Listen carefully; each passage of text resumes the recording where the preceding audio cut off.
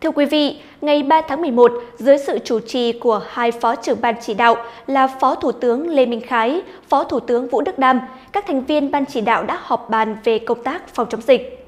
Theo báo cáo của Bộ Y tế, tính đến 16 giờ ngày 2 tháng 11, cả nước ghi nhận 932.357 ca mắc COVID-19, trong đó có 929.064 ca trong nước.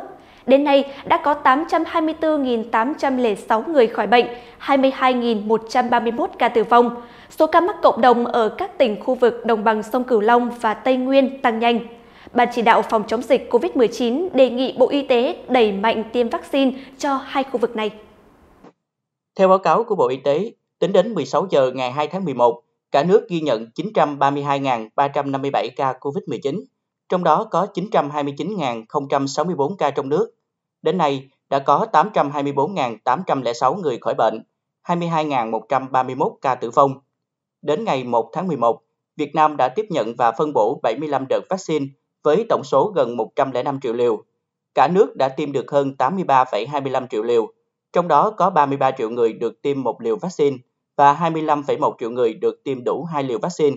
Tỷ lệ tiêm ít nhất một liều vaccine là 80,4% và tỷ lệ tiêm đủ hai liều vaccine là 34,7% dân số từ 18 tuổi trở lên.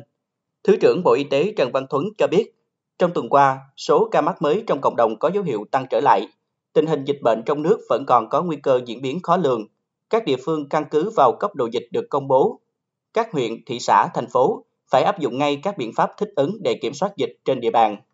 Tại cuộc họp bàn về công tác phòng chống dịch vào ngày 3 tháng 11, các thành viên ban chỉ đạo nhận định chuyển sang thích ứng linh hoạt, an toàn, kiểm soát có hiệu quả dịch COVID-19, nhưng vẫn phải kiên trì thực hiện nguyên tắc phòng chống dịch từ những ngày đầu, ngăn chặn, phát hiện, cách ly, khoanh vùng, dập dịch, điều trị sớm.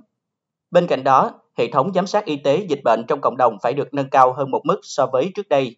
Các giải pháp tuyên truyền, vận động người dân thực hiện phòng chống dịch phải được thống nhất, không để lúc chặt quá, khi lỏng quá. Các thành viên ban chỉ đạo đề nghị Bộ Y tế khẩn trương phân bổ đủ vaccine cho các địa phương, đặc biệt là các địa phương có nguy cơ cao, rất cao, trong đó đảm bảo đủ vaccine, có phương án chi viện nhân lực để kịp tiến độ, kế hoạch tiêm vaccine nhanh nhất cho khu vực đồng bằng sông Cửu Long và Tây Nguyên.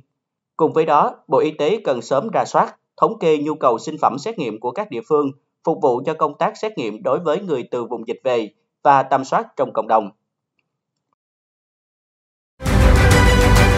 Bạn có video hấp dẫn. Bạn bắt gặp được những khoảnh khắc độc đáo. Hãy gửi về plo a vòng pháp luật tb.vn để nhận ngay quà tặng và nhuận bút hấp dẫn.